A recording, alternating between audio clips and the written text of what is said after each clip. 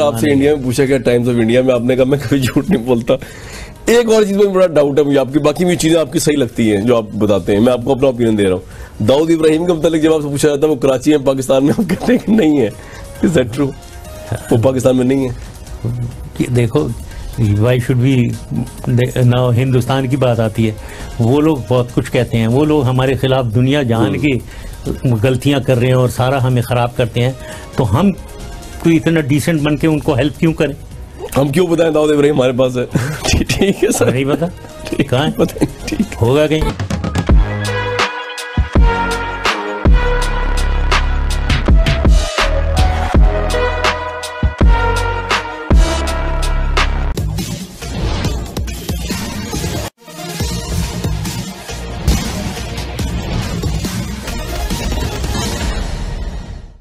अभी आपने पाकिस्तान के भूतपूर्व राष्ट्रपति का बयान सुना, जिसमें वे दाऊद इब्राहिम का पाकिस्तान में मौजूद होने से इनकार कर रहे हैं। साथ में एक और क्लिप देखा, यह क्लिप पाकिस्तान के एक्ट्रेस महनीस हयात का है, जो परफॉर्मेंस दे रही है। इन दोनों में आपस में क्या लिंक है? इसकी पड़ताल हम इस वीडियो के अगले भाग में करेंगे। आप लोगों को यह ज्ञात ही होगा कि उन्नीस में मुंबई के दंगों के बाद दाऊद इब्राहिम पाकिस्तान भागकर चला गया और तब से वह वहीं छिपा हुआ है। परंतु पाकिस्तान हमेशा से ही दाऊद इब्राहिम को पाकिस्तान में होने की बात से इनकार करता रहा है।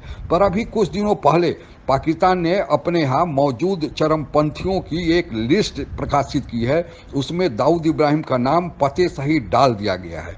आखिर अचानक यह कैसे दाऊद इब्राहिम के संबंध में पाकिस्तान के नीति में बदलाव हुआ?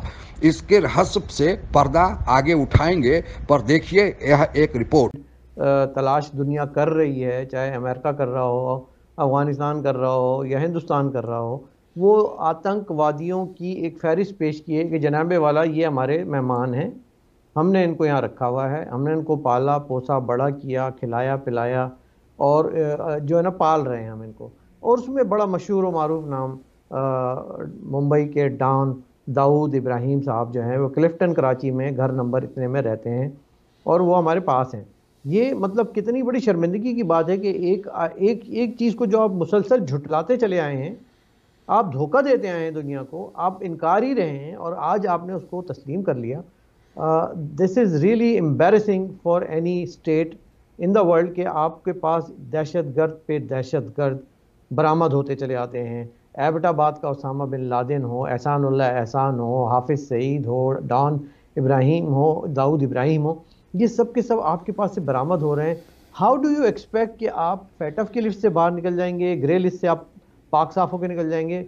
भाई पाला तो आपने इतने अरसे तक है आपने इतने धमाके करा दिए हिंदुस्तान में और अब अब कहते हैं कि जी वो हमने रखे में उनको पकड़ लिए उन्होंने पकड़ भी लिए।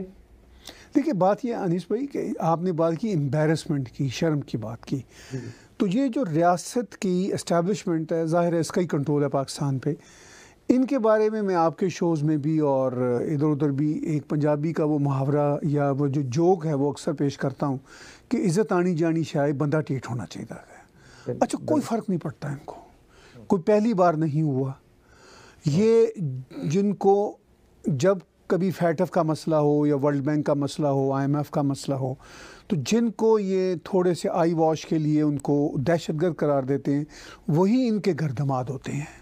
दाऊद इब्राहिम और दुनिया के कई धुरंधर टेररिस्ट आज पाकिस्तान में राज़ी खुशी बसे हुए हैं। और ये सब आर्मी के पैदे हैं। ये इन्होंने शुरू ही किया था टेररिज्म इंडिया में ये कह के कि इंडिया से हम लड़ तो नहीं सकते तो death by a thousand cuts Zia साहब के जमाने का था ये death by a thousand cuts Benazir Bhutto के जमाने का। और तब से ये army death by thousand cuts का सिलसिला जारी रखी है। तो ये कैसे आपको हैंड ओवर कर देंगे? अजहर को कैसे हैंड ओवर कर देंगे दाऊद को?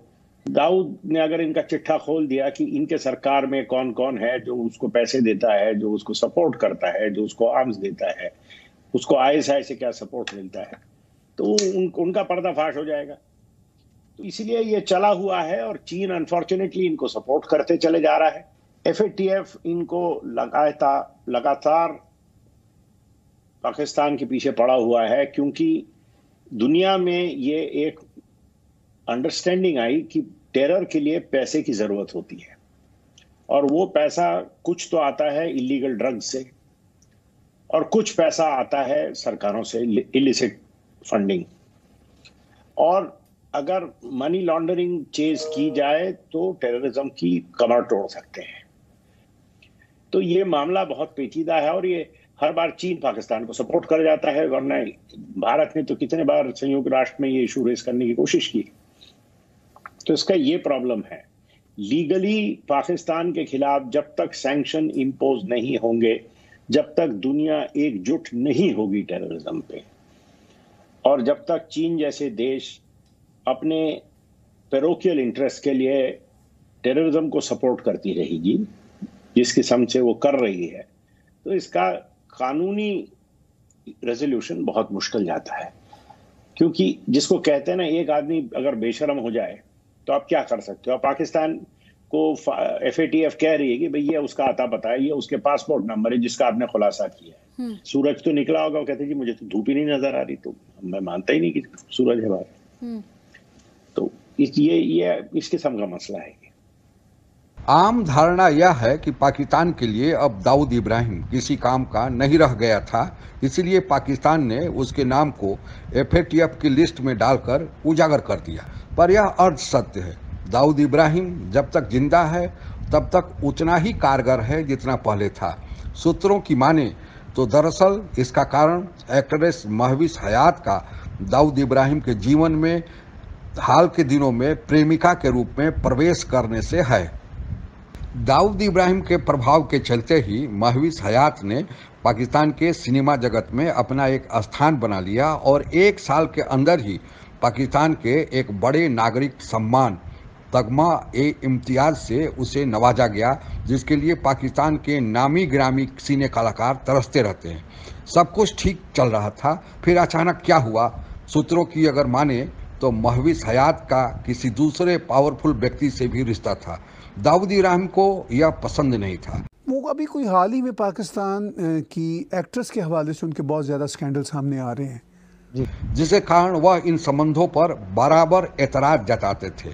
तब इस बात की खबर उस पावरफुल व्यक्ति को लगी और उस पावरफुल व्यक्ति ने अपने रसूख का जलवा दिखाया और दाऊद इब्राहिम को एफएटीएफ की लिस्ट में डालकर उजागर कर दिया।